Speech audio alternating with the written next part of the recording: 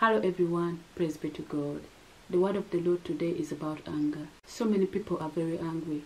They are angry with God. They are angry with other people. But anger does not solve anything. Sometimes even frustration can lead to anger. The book of Ephesians chapter 4 verse 26 says that in your anger do not sin.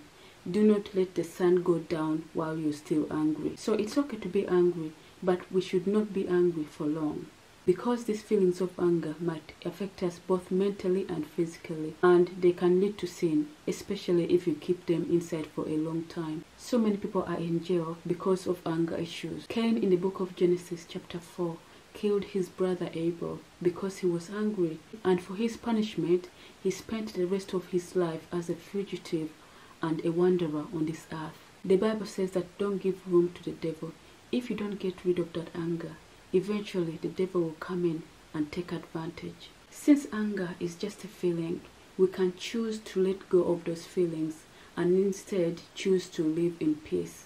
Whether your anger came about through frustration or through someone hurting you or something else, today you have a choice. You can either choose to continue to be angry or you can choose to do things God's way by letting go of those feelings and trust God instead. If you choose to do things God's way, you'll be more happier and at peace. Thanks everyone.